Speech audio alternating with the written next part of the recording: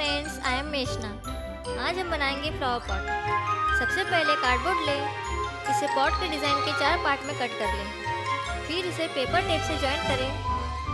इससे ये पॉट बन जाएगा.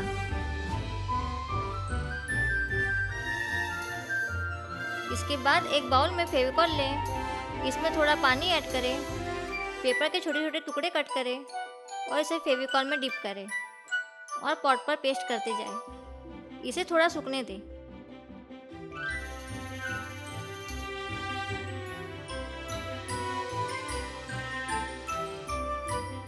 इसके बाद हमें पॉट को हार्ड करने के लिए इस पर वाइट सीमेंट लगाना है। इसके लिए वाइट सीमेंट ले, इसमें फेविकॉल ऐड करें और थोड़ा पानी ऐड करें। इसे अच्छी तरह से मिक्स कर लें। इसके बाद वाइट सीमेंट का पेस्ट ब्रश की हेल्प से पॉट पर लगाएँ। इसी तरह हमें पॉट की बॉटम भी रेडी करनी है।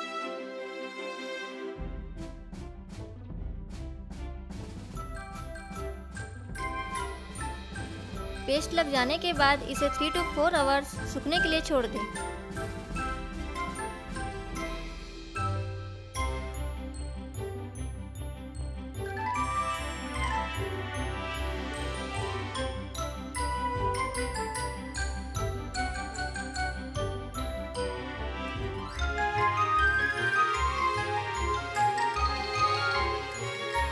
पॉट और बॉटम सूख जाने के बाद इसे ज्वाइंट कर लें।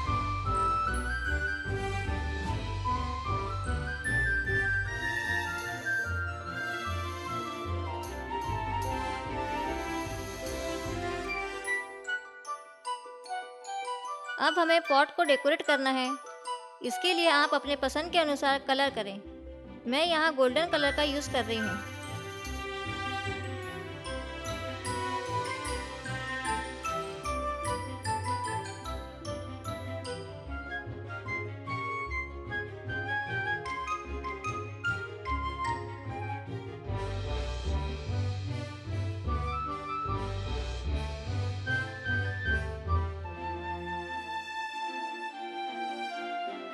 कलर हो जाने के बाद इसे लेस से डेकोरेट करें।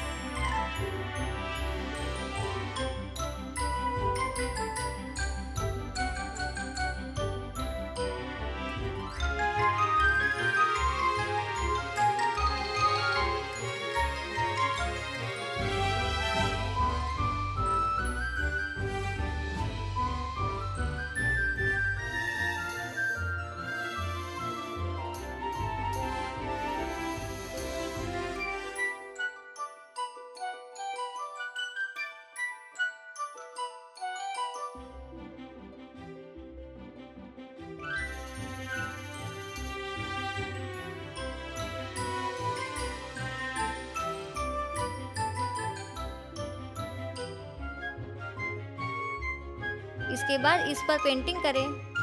पेंटिंग के लिए पेंटिंग कलर का यूज़ करें। पेंटिंग हो जाने के बाद इस पर मोती लगाकर और डेकोरेट करें।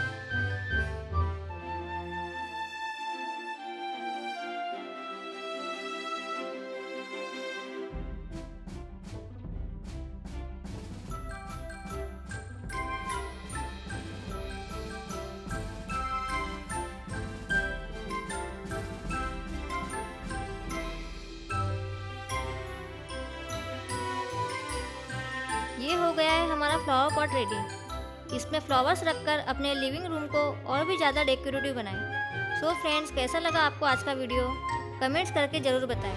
And like share subscribe to my channel thank you friends